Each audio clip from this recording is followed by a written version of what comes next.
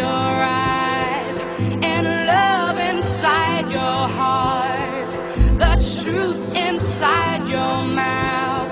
This is the way to make this world become heaven.